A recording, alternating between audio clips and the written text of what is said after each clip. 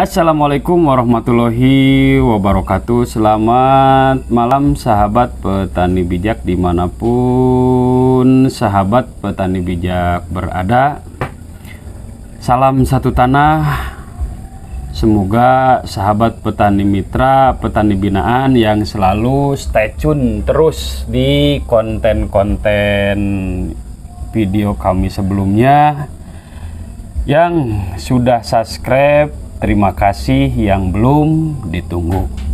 Selamat malam, kawan-kawan, sahabat petani bijak, di mana pun sahabat petani bijak berada ya.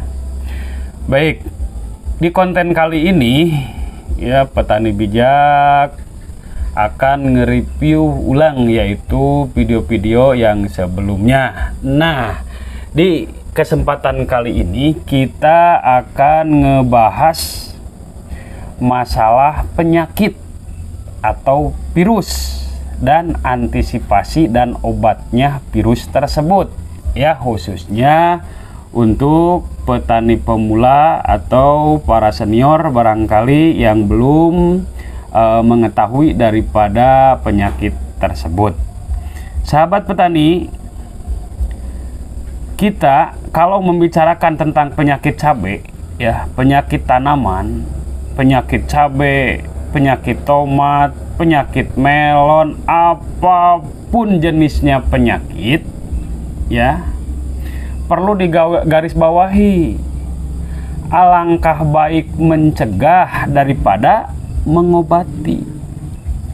Alangkah baiknya kita mencegah daripada mengobati mencegah itu dari awal sampai akhir. Mencegah dulu. Jangan mengobati. Kalau mengobati itu biayanya besar sahabat. Dengan cara apa? Dengan teknik apa? Dengan pola seperti apa kita mencegahnya? Ini dia. Kebetulan petani bijak. Di sini tuh kan di hutan ya. Di kampung kami kecil kami ini di hutan jauh ke toko pupuk pestisida kimia jauh gitu. Jauh dan sangat jauh dan biayanya juga malumlah petani kecil gitu kan. Kita belum bisa itu kan e, membelikan pupuk kimia sedemikian mungkin gitu. Nah, maka teknik seperti ini ya alhamdulillah hasilnya setiap kali kita nanam, kita panen, kita benar-benar puas hati kita bahwasannya dengan program ini, dengan cara ini, dengan sifatnya mencegah itu hasilnya kita beli kambing ngejual sapi.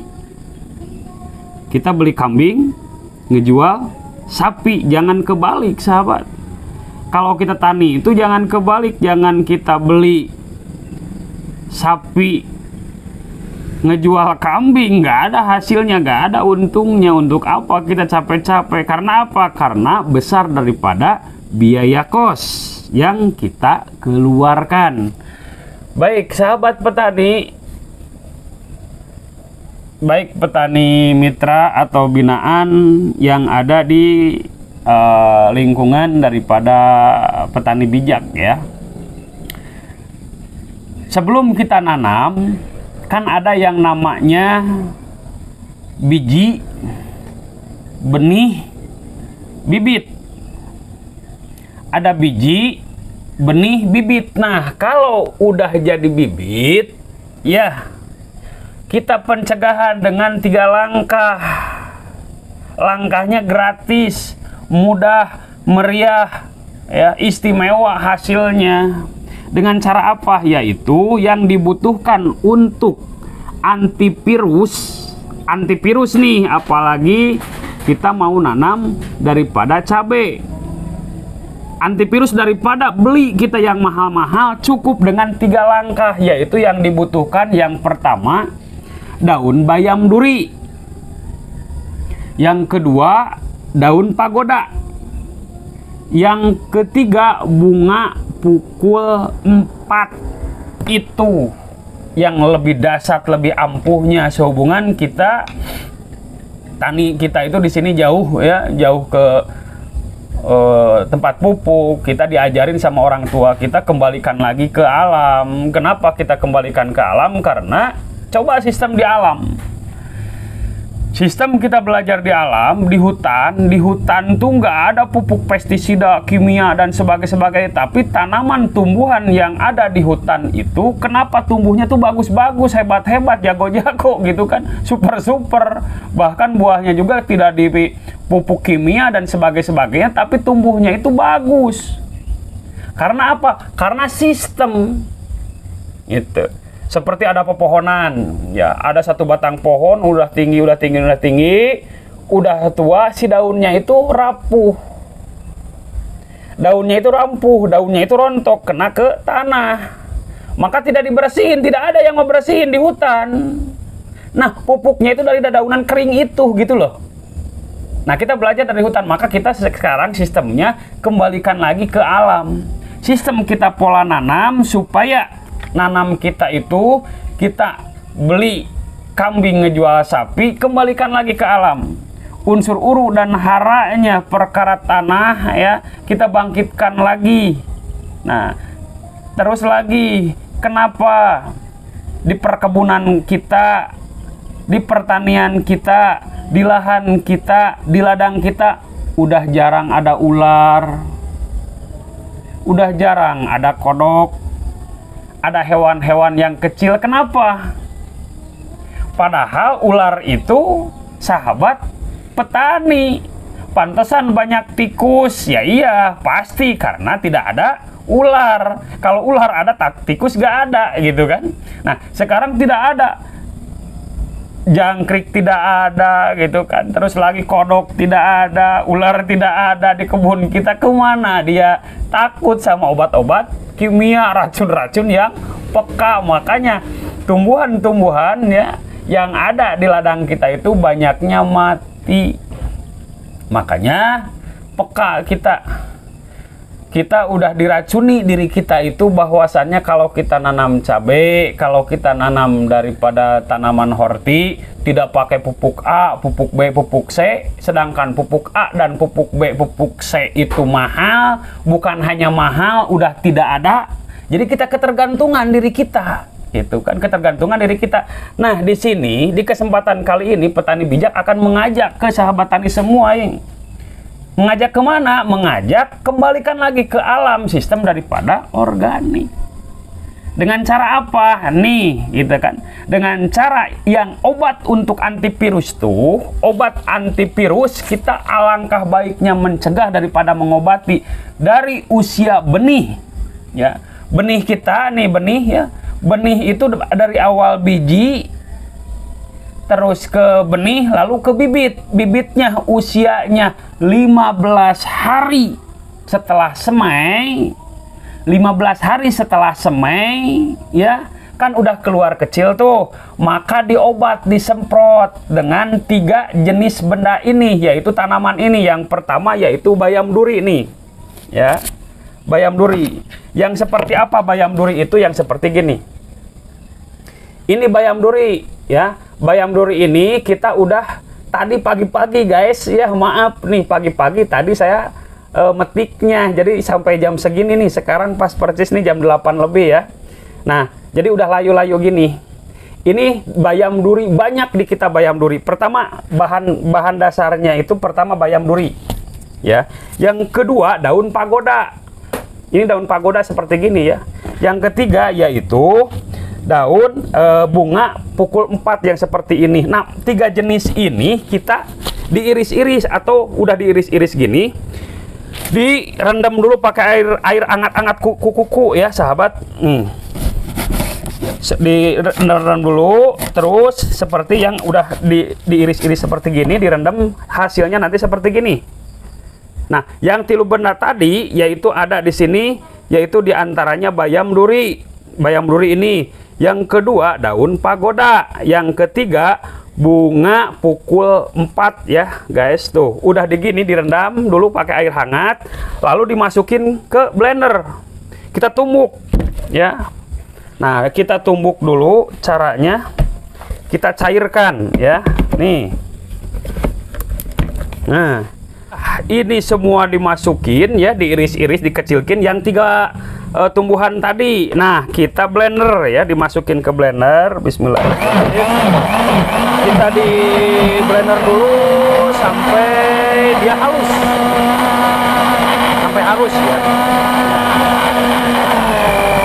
Ini dijadikan indukan dari sekepal daun ya, sekepal aja sekepal segini nih.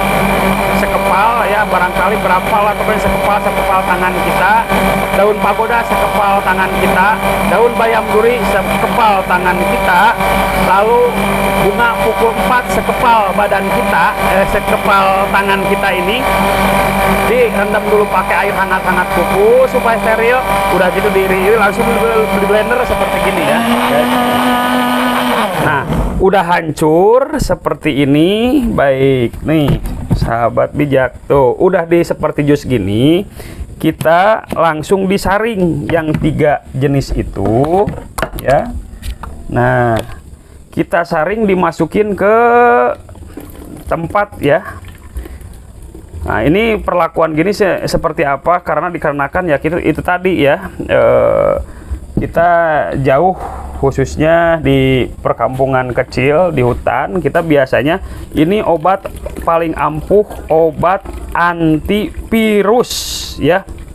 Nah, di gimana cara aplikasinya? Aplikasinya itu caranya 15 hari setelah uh, semai 15 hari setelah semai maka langsung di obat disemprot di spray yaitu pakai ramuan ini. Apakah bisa diaplikasi diaplikasikannya apakah bisa diaplikasikan? Bisa. Mau diaplikan aplikasian diaplikasikan sama mikroba? Boleh. Pupuk hayati? Boleh ya. Mau pakai misalkan pembenahan tanah triko? Boleh ya. Di bisa di uh, aplikasikan. Bisa diaplikasikan sama apa aja.